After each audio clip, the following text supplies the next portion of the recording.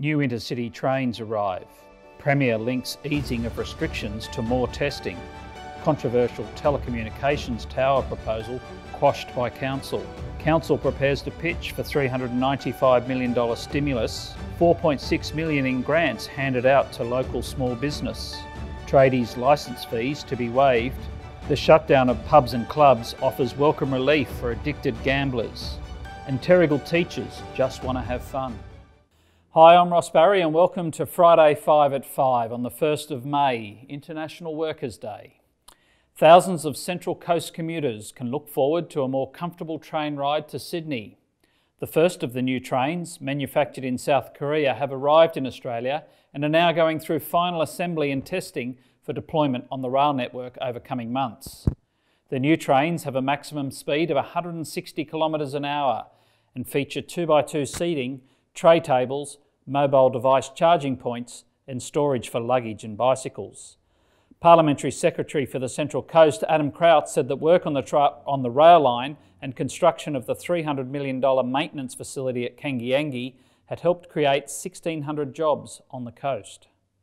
New South Wales Premier Gladys Berejiklian has called for more COVID 19 testing as she begins the process of lifting restrictions on social and economic activity. Earlier this week, the Premier said that from today, the state would allow a maximum of two adults to visit another household for social or care reasons, with children permitted to accompany them. She also acknowledged many retail outlets and offices were likely to restart normal operations in late May, and it's expected that more, more specific announcements will follow in coming weeks. A key condition of these nascent steps to restart economic activity, however, is more proactive testing for COVID 19 Local Health District is currently testing around 110 people a day, but the government is looking to double this over coming weeks.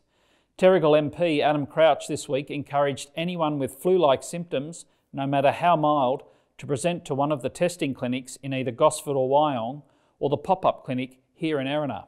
And as at 8 pm on Tuesday, Central Coast Local Health, Health District had recorded 117 confirmed cases of COVID 19 of which 115 have now been released from daily follow up. Central Coast Council and staff met via Zoom on Monday night. Let's go to David Abrahams now for a wrap on proceedings. Yes, thanks, Ross. Um, there was plenty on the agenda for councillors to debate, but as we said earlier in the week, the meeting had an unusually collegiate and cooperative feel. Uh, we had a word with Councillor Kyle MacGregor uh, about the meeting and some of the issues on the agenda.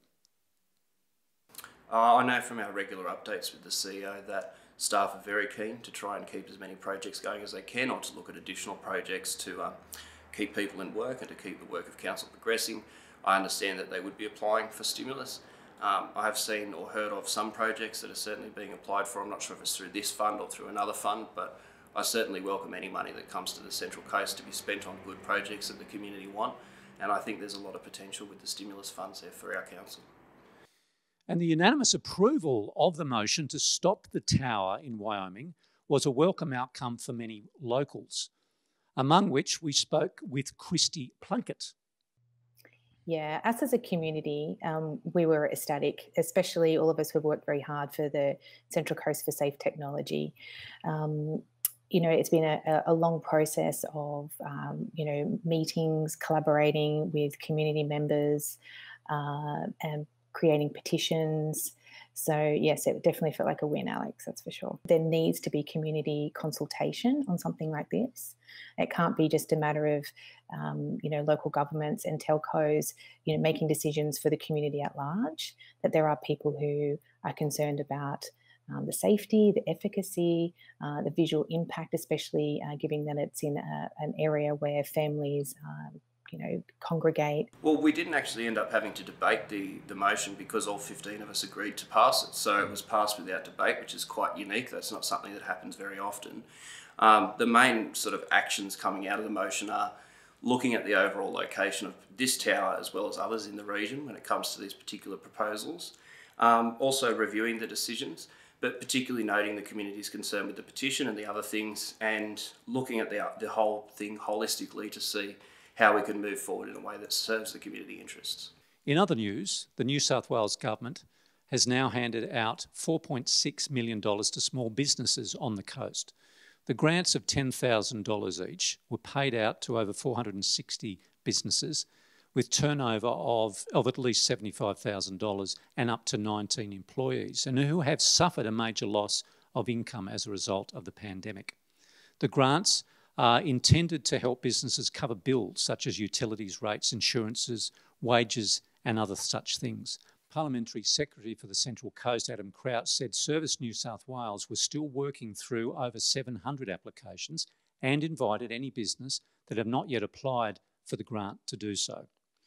And relief is also in sight for thousands of tradies here on the Central Coast, with an announcement by the New South Wales Government that up to 200,000 licence holders will have their licence fees waived for 12 months. Okay, back to you, Ross. Thanks, David. Well, if there's one silver lining to the coronavirus cloud, it's in the area of gambling addiction. The Central Coast has one of the highest gambling addiction rates in Australia, but the closure of pubs and clubs over the past month has given those impacted an opportunity to break the habit. We asked for Liz Niazi from Coast Community Connections, one of the leading health and community service organisations in the region, about what she's seeing on the front line it's an opportunity for them to just not gamble for a few months. And most of my clients are addicted to gaming machines, to the pokies. So they felt a real relief.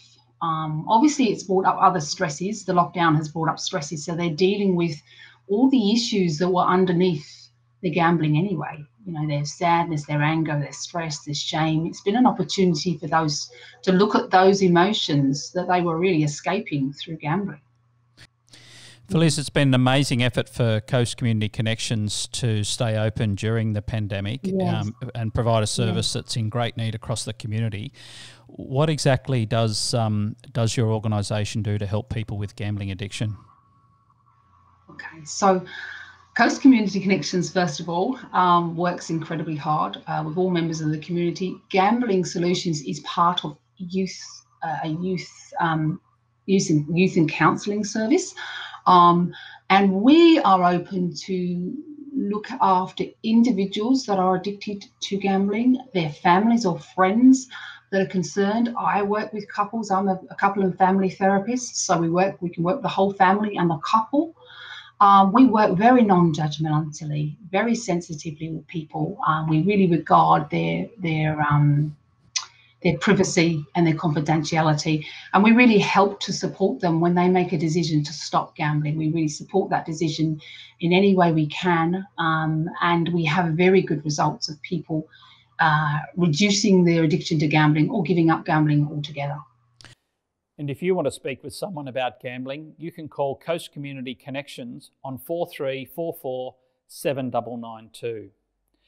That's all for this week. Make sure you get your hands on a copy of Coast Community News, issue number 240, hot off the press today, or see the latest of all our stories on our website. And there you can also see a short performance of Wash the Blood Off My Toga from Woy Woy Little Theatre. And we've heard that girls just want to have fun, but this trio of teachers from Terrigal Public School shows that teachers can be fun too. Have a great weekend.